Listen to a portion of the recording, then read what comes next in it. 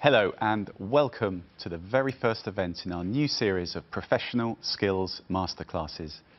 And today we'll be focusing on how we can all be exceptionally productive.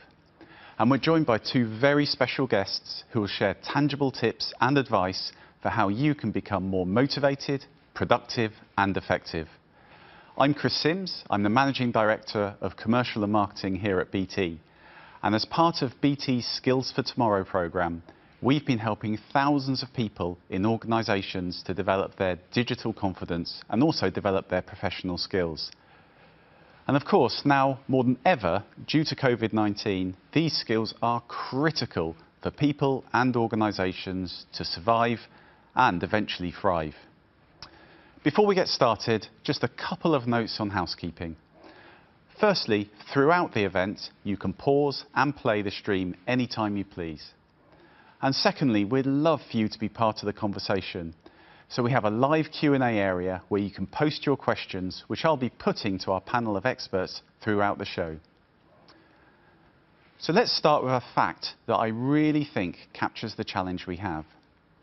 And that is that despite all the advances we've made over the last 12 months in remote working, a recent study still shows that 82% of managers of remote employees are concerned about reduced productivity.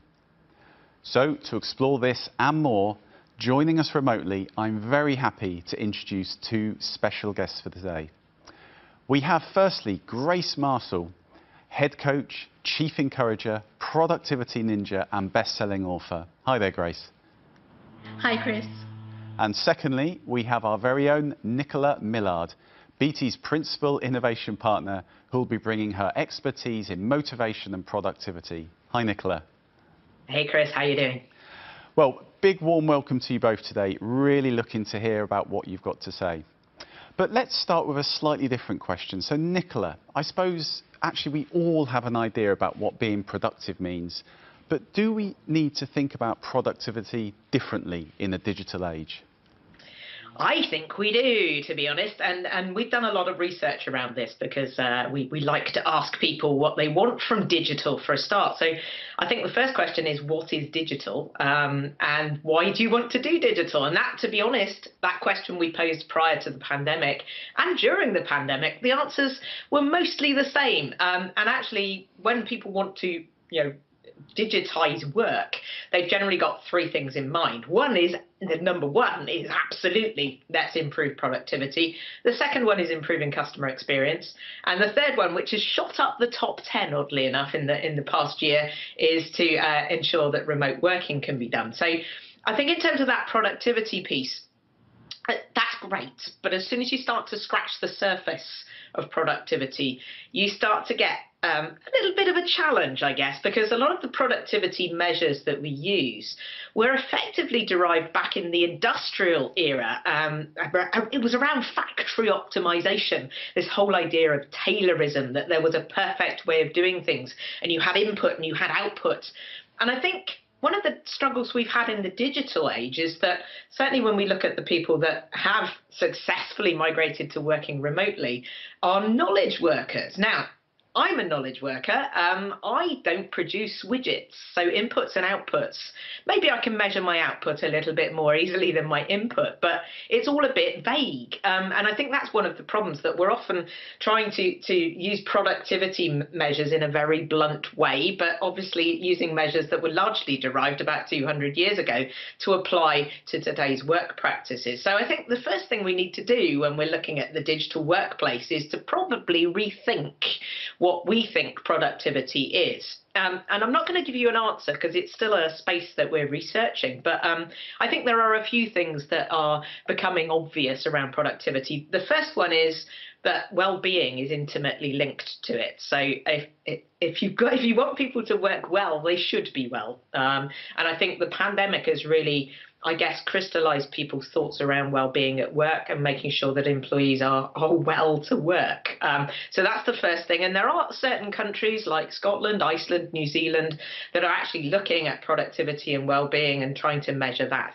The second one is a slightly more innovative one. Uh, we work with MIT, uh, Massachusetts Institute of Technology. Certainly, people like Michael Schrage at, at MIT have been saying, can we get a, an idea of return on ideas? Because if I'm a knowledge worker, actually my output is largely around ideas. Now, the data's probably there in the network somewhere, um, but how do we measure that? And I think, you know, that's the big question with productivity. What do we measure?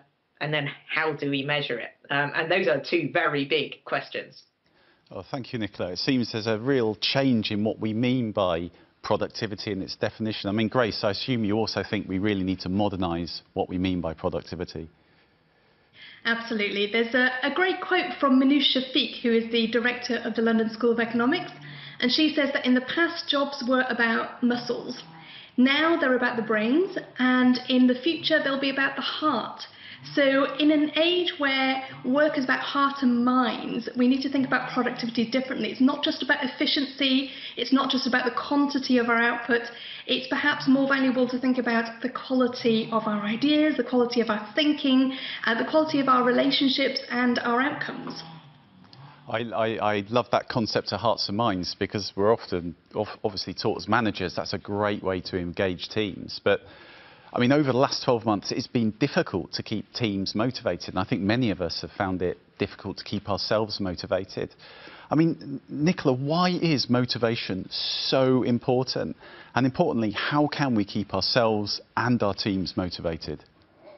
Yeah, we're getting into dangerous territory whenever we talk about motivation with me because my PhD was on motivation, so I can I can basically bore for Britain on motivation. But um, I think motivation is one of those things that often is very badly understood. Um, so, I mean, it's incredibly important for productivity. If you want to look at the sort of formal definition of it, it's the psychological process that gives behavior purpose and direction. Um, I like to call it what gets you out of bed in the morning, to be perfectly honest. And a lot of my research was really to try and figure out what did get people out of bed in the morning. Um, and I think the other the other problem we have with motivation is that it's often interpreted entirely around extrinsic motivators. So, you know, performance and reward and pay. Now, work is always going to be somewhat extrinsically motivated because frankly we do get out of bed for salary um, but that's not the only thing. And i think it's the intrinsic motivators that become much more fascinating. So that's really around you know do i have an interesting job? Um, do i enjoy the social connections that are developed within my job?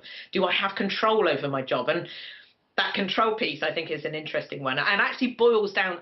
A, lot of my research identified a number of motivators, all of which mysteriously begin with the letter C. So, the first one is culture. You know, how am I managed? Um, do I recognise that my purpose and the purpose of the organisation align? The second thing is content. So simply, what do I do? Um, is my job actually an interesting job to do, or maybe it's not interesting? But how do I find things that engage me about it? Um, control. How much discretion do I have in my job? And classic psychology will tell you that a job with high demand and low control will stress you. Um, and hence we need to, maybe we can't deal with the demand bit, but the control bit, you know, how much control can we give employees about their job? Because that will make them more motivated and less stressed collaboration, who I work with, and the team dynamics. I think that's been an interesting one within the pandemic. And certainly we've seen direct teams get a lot stronger, those stronger ties within direct teams, because we've been talking to each other more. What suffered is the weaker ties outside teams, and they're important as well. And that's the bit that we may need to look at the physical office space for. And then the final one is curiosity. So, uh, do I feel as if I'm discovering new things and learning on the job? The one I discounted was competition, which again we often use um, because a lot of that's extrinsically motivated. Um, and it's not about points and prizes. Um, and work isn't a game, it's not a sport. And I think it's a very powerful motivator competition, but it can also uh, drive people away from doing things like collaboration. So I think we need to think it's a very powerful motivator competition, but we need to use it sparingly and carefully because otherwise we might wreck some of those other C's. Great. And Grace, are those absolutely. themes familiar to you? Yeah, absolutely. I always say productivity is not just about getting stuff done. Um, you know, yes, ticking things off a to-do list is satisfying in the moment, but that's a fleeting satisfaction. Um, you know, productivity, sustained productivity, comes a lot from not just how much we achieve, but actually what are we achieving, how are we doing that. So it's the whole work-life experience, and so that's where motivation, meaning, purpose plays a key part in that. Brilliant, brilliant. I love that, and I love the five C's actually. Lots of themes there that I recognise. Um, Nicola, then, what would you say are your three best tips for anyone who wants to work more productively? Okay, so the first big one is people often mistake activity with productivity. Um, it's often that that that people go, "How are you? How you how are you doing?" "Oh, I'm really busy," um, because we value that busyness, and yet is busyness productive? I think that's one of the big things that we need to ask. And obviously, there are things like multitasking uh, that we tend to think is um, a very productive way of working. We'll juggle lots of things. Now, the first thing is we don't really multitask, we time box and time slice. And actually the evidence from the research is that the, the more multitasking we do, the less productive we get. And the trouble is, a lot of our devices now try and encourage us to multitask. They're continuously demanding our attention like small children. Um, so I would say, you know, don't just you know be busy. Um, try and figure out what you know actually is productive in that busyness and do more of that and less of the stuff that's really around faffing about to be perfectly honest or, or simply trying to multitask infinitely or try and compensate for that by working longer hours. And again Longer hours does not equate to productivity. In fact, long hours cultures are usually less productive. So don't mistake activity for productivity. The second one uh, is I've stolen it from Jason Fried. He he he called it um, beware the M and M's. I've added an extra M, so I'm going to say beware the M and M&Ms, uh, which doesn't quite work so well. But um, but meetings, managers, and messaging or mail. Um, so yeah, basically meetings are a big one again i look busy if i'm constantly in meetings and the pandemic has allowed us to time box those meetings in endless sessions of 30 to 60 minute boxes. I, I keep saying I, I, tend to get up in the morning with an impending sense of Zoom these days. So, um, again, we haven't questioned whether meetings are productive way of doing work. We just have lots of meetings because we're busy. So, meetings, managers can be quite demanding. Uh, so again, how do we manage our managers to try and maybe not schedule quite so many meetings for a start?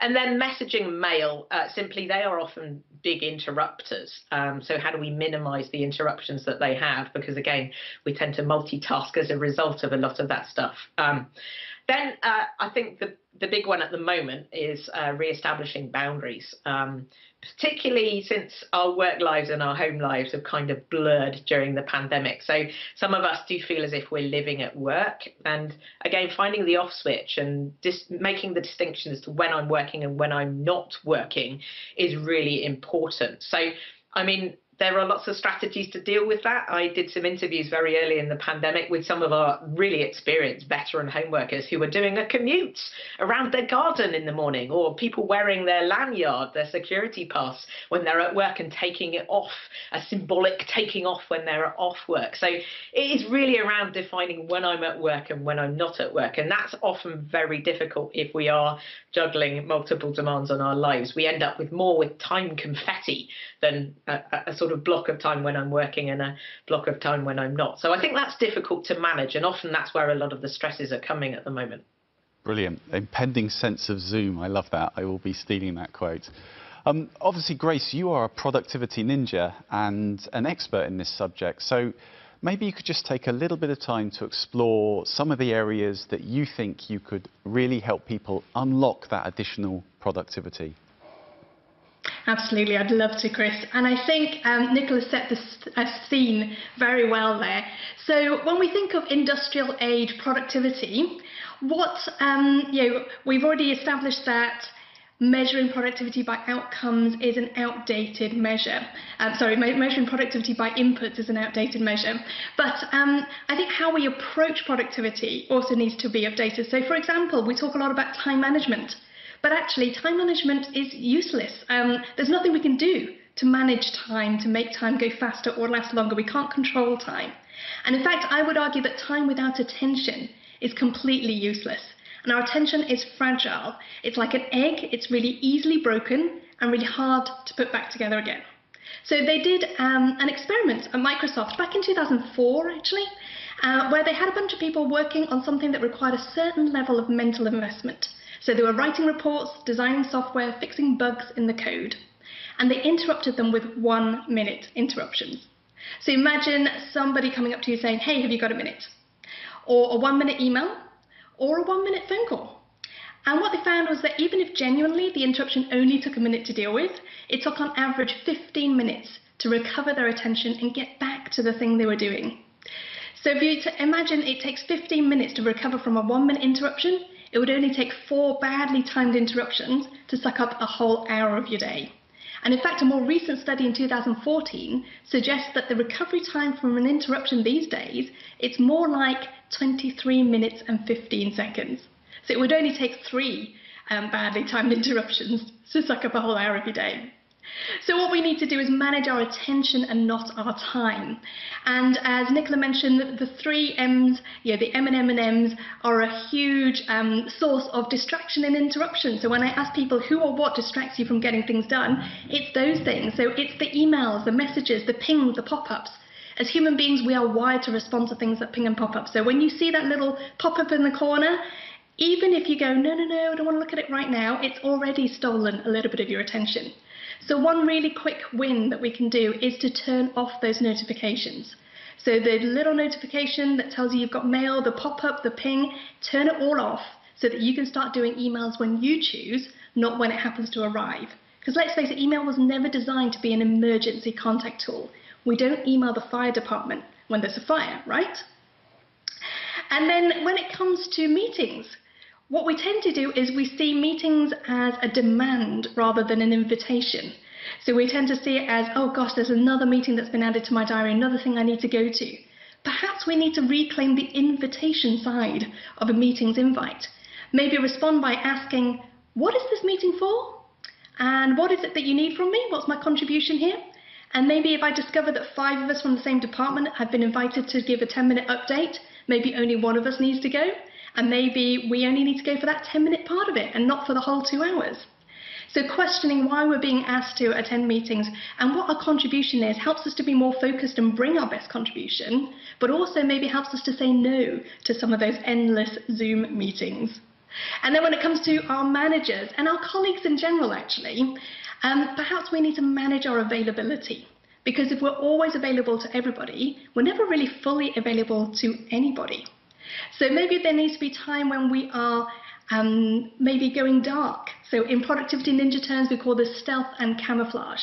Times when we're slightly less available, where maybe we go dark, we turn our Wi-Fi off, we turn um, you know, our emails off, we go onto work offline mode, which there is on Outlook, there is a work offline mode, um, or maybe we just turn our Teams meeting status to do not disturb. And what that means is that we get a small window of uninterrupted time where we can really focus and get our head down and get really good work done. And then when we're fully available again, know, when we're in contact with other people, we can give them our full attention instead of being divided between the two. And of course, the fourth thing that Nicola mentioned, another M, is multitasking. And multitasking absolutely doesn't work. Yeah, we make the work harder, we make the work more stressful. We also are far more likely to make mistakes and the work takes longer when we're multitasking. So let's go for serial monotasking rather than multitasking. Do one thing to a sensible level of completion, then move on to the next thing. And if anybody's thinking, that's great, but I've got so much to do, how do I get everything done if I can't multitask? My answer to that is stop trying to do everything. Because we kind of know that we can't get to the end of everything, right? But if we think that everything is holy grail, then we think that surely the more stuff I'm doing, the more productive I'm going to be, right? But actually, there comes a point where more becomes less. When there is too much going on, we end up spreading ourselves thin, diluting our impact, getting so overwhelmed that we can't focus on anything. When there are too many emails in the inbox, it all becomes noise. When there are too many meetings in the diary, when's the actual work going to get done? So actually what's stopping a lot of us from being productive isn't that we're not doing enough, it's that we're trying to do too much. And when we do that, we end up aiming for quantity rather than quality. We end up pursuing that sense of busyness and activity that Nicola talked about, rather than uh, quality and impact and results. So what we need to do is discern between the real work that's actually going to take us forwards towards the goals that we want to achieve and the fake work that just keeps us busy. And believe me, there is plenty of fake work to keep us all busy. The other thing we need to do there is also start to think about culturally. Yeah, who do we reward? Do we reward the person who looks the busiest, who responds the quickest to emails, who stays the latest and works extra hours? Um, or do we reward the people who are maybe looking for ways to get better results? Um, looking for ways to bring fresh thinking and creativity and ideas and innovation and getting that outcome and getting you know, creating value rather than necessarily creating more work for each other. And then the final thing that I will say is that we need to set clear finish lines. So Nicola mentioned that sense of work-life blur, where am I working from home or am I just living at work? And the fact is that we live and work in an age where work never ends. So then it's up to us to put in place some of those finish lines. We need to start deciding what does done look like for today or for the week? What does done look like on this task or this project? It's up to us to define those clear finish lines. Because otherwise, if we just throw more hours at it, what we find is there are two things. Parkinson's law means that work expands to fill the time available. So if you give it more time, guess what? It just takes more time.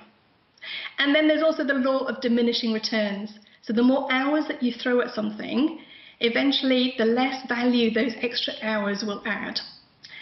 And so if you find that you're just trying to work harder, trying to work longer hours, um, and it's not getting the results that you want, maybe what we need to do is to set those clear finish lines, but also make sure that we take breaks and make sure that we actually take time away from the work. Sometimes the most productive thing we can do is to stop working, take a break, and come back fresh. And we'll find that's when we can make clearer decisions, because if we don't take breaks, we get what's called decision fatigue where our ability to make good judgment decisions deteriorates um, with every decision that we make. So it's a limited resource. But also, when we don't take breaks, we don't get the benefit of some of the creative thinking um, that comes from looking away and thinking about something else for a time. And also, there's the matter of our well-being as well, because as Nicola said, well-being and productivity go hand in hand. And quite often we see well-being or recharge as a bit of a luxury that we'll get around to when everything else is done. And guess what? That's when it doesn't happen. That's when it always falls off the list because things don't get finished. Yeah, there's always more work to be done. So what we need to do is start to see well-being as our fuel for productivity. To see that when we switch off, that we fully switch off, and we actually, rather than going on standby, waiting to go back to work again, actively pursue something that recharges you, that energizes you so that you can come back fresh, ready to do your best thinking, do your best work, and bring your best ideas to the table. Uh, so, yeah, set those clear finish lines, and that's where I'm going to finish too, Chris. Oh, brilliant. I mean, wow, that was a whole host of useful uh, insight there, and I could see uh, Nicola sort of nodding ahead manically as well. Mm -hmm. So thanks very much for that. And I have to say, I turned notifications off on my phone at the beginning of the pandemic because frankly, it was stressing me out a bit, and it has made a huge difference. So great tips. Thanks, thanks Grace, and, and thanks Nicola. So we've had a few questions from our audience, and we're going to take a look at those. So firstly, we have a brilliant question from Heidi who's uh, interested to hear from you, Nicola, actually, on how digital can be used to gauge productivity. So the actual question is, what are the panel's thoughts on using AI to focus on areas for performance improvement? So, Nicola. Yeah, well, AI is an interesting one. So, first thing is that AI does need distinctive inputs and outputs. So, uh, AI doesn't work by magic, it works by data. So, it needs data in order to figure out whether we're productive or not. But ironically, uh, we can probably measure inputs quite easily, to be perfectly honest. If you look at some of the stuff, for example, that Microsoft have done with their productivity tools, I can figure out how many meetings I've had and who those meetings are with. But actually, the outputs of those meetings, um, what happened? I mean, it's very difficult to get that data. So you know, I think you can use AI to maybe manage things for you, but we're all different. And I think you need to train it in order to maybe look at some of the bad habits that we have and maybe it could nudge us in that way. But AI is also an interesting one that almost compounds the problem because if you look at AI as a whole, what it tends to take away is the measurable, transactional, rules based, process based stuff. So all the things that we're, are easily measured, AI does that means that eventually we get, we're human, we, we love mess and complexity and innovation and creativity. All of those things are far, far harder to measure. Does that mean that we are of no value? Uh, no, because actually the human brain is an incredible thing. I mean, around the social connections we make, the ideas we have, very difficult to measure, but absolutely valuable. But it does look from traditional productivity standpoint but, uh, point that AI is very productive. But is it? Um, so I think AI, it's an interesting one. If it's got the data, it might be useful, but actually it could also add to this problem around how do we measure the human in terms of productivity and do we need to think of very different measures? Great, thanks, Nicola. And our second question is from Georgia. And George is asking, how can we use technology in the workplace to improve productivity? And I think crucially, uh, can technology sometimes be a hindrance? And I think I'll, I'll ask Grace this one. Absolutely. It's so interesting that often people will ask me, one of the first questions they'll ask me is like, what tech should I be investing in? What tool should I use to help me to be more productive? And the answer I give them is that it's always about psychology before technology, because the tool is only ever as good as the person who's using it. And so, what we need to do is think about how do we want to use this tool, um, and then what are the expectations we want to set around that. So, for example, technology has enabled us now to communicate instantly with each other. So we had email before, but now we have um, instant messaging in Teams and in Slack and things like that. So, how do we use that well as a way to communicate and collaborate rather than just something that creates that distraction and that interruption factor that we talked about earlier? A lot of this comes from thinking about what's the purpose of this? What channel do we want to use for what kind of communications? And then setting some ground rules. What kind of um, expectation do we have? If you send me an email, how long do I have before I respond? um, so that I don't have to be looking at it all the time, so I don't have to have those notifications turned on. So having those rules of engagement around how do we use our tools and what do we want to use it for is a much better way of using our technology well, rather than just going, yeah, let's just add another piece of technology to the mix. Brilliant. And Nicola, I'd love to get your response too, because I know this is a subject close to your heart. Oh, definitely. I mean, I think um, there are a few things. I think people assume that everyone can pick up technology and use it effectively because it's easy. It's not. And I think we assume a level of techn- technical literacy maybe that people don't have. So I would say, you know, firstly, explain what the technologies are for and how people can use them more effectively. I think the other thing that we've been looking at a, a lot, particularly with Cambridge University and Lancaster University, is this problem with you know being always on so um, you know that pressure to always be available and, and, as grace said there's a lot of things that we can do to maybe alleviate that pressure that is created effectively by the technology connected connecting us uh, uh, constantly rather than enabling us to disconnect. So, so yeah, I think um, that that pressure to be always on is is, is a psychological pressure more than a reality, but it's enabled by the technology. How do we find the off switch is the big question. Great, thank you, Nicola, and thanks to both of you. Actually, there's been really great advice for everyone watching today. So, what a fantastic masterclass on being exceptionally productive. And I've definitely learned a few tips myself, uh, particularly cognizant now of Parkinson's law. Uh, very relevant to me, actually, because I am terrible at time boxing my day. But we've learned a lot of other things as well. So we've learned how not to mistake activity for productivity. Uh, we've learned that multitasking and long hours might look productive, and I, actually I think we probably all know this, it probably isn't as productive as we think. We've learned about the M and M and M's, the third M, meetings, managers and mail, that are the root causes of so many interruptions in our working day. And they cause us to multitask and actually cause us to work longer. We've looked at re-establishing boundaries, setting clear finish lines, and actually avoiding that work-life blur. And actually, Grace made a really good point that you need to recharge to fuel your productivity. And we've learnt to manage attention and not time. And time without attention is useless, as, as many of us will know as they're playing with the kids and sneakily looking at their phone at the same time. And finally, we've learnt to stop trying to get everything done because we know, really, we can't. So I really hope you've enjoyed today's masterclass on how to be exceptionally productive. Uh, if we get the technology right, there'll be a couple of questions at the side of your screen, and I'd love you to take the time to answer those for us today. Uh, if you did enjoy today, please do join us for our second event on the 22nd of April, where we'll be talking to Sahar Hashemi, who is the founder of Coffee Republic, and our very own Andrew Wald, who is the Culture and Leadership Director here at BT. and we'll be talking about applying a startup mentality in your business. So don't delay, you can sign up via the link that's in the chat. So that's all we've got time for today. So thank you very much for joining, and I hope to see you again soon. Bye bye.